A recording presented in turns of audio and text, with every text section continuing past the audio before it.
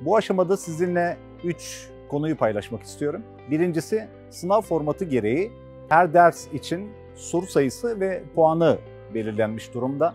Ancak yerleştirmeler çan eğrisine göre yapılmakta. Dolayısıyla bir sorunun puanı 1 iken 1,5 hatta 2'ye bile çıkmakta. Bundan dolayı da zaman yönetimine çok dikkat edilmesi gerekir. Denemelerdeki performansımıza göre zamanımızı iyi ayarlamalı ve başarı için mutlaka bu planlamaya uymamız gerekmektedir. İkincisi ise konu tekrarlarının bittiğini varsayarsak soru çözümüne odaklanılmalı. LGS'de hatta TEOK'ta çıkan soruları bile çözmemiz gerekmektedir.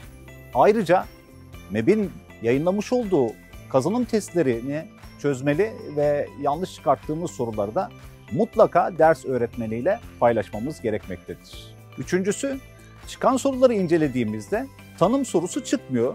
Yani kaza nedir, kader nedir, zekat nedir, sadaka nedir gibi sorular veya yukarıdaki tanımı verilen diye soru çıkmamakta. Genellikle paragraf veya bilgi notu verilmekte, ondan çıkarımlar sorulmaktadır. Ayrıca müfredatımızda bulunan surelere bakarsak şimdiye kadar sure sorusu LGS sınavlarında çıkmadı. Ancak TEOK sınavında Ayetel Kürsi'den her sene bir soru çıkmaktaydı.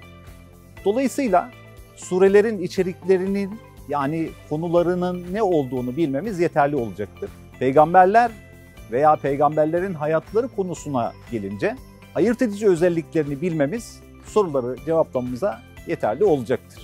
Sonuç olarak bilgi bakımından yeterli olduğunuza inanıyoruz. Biz size güveniyoruz.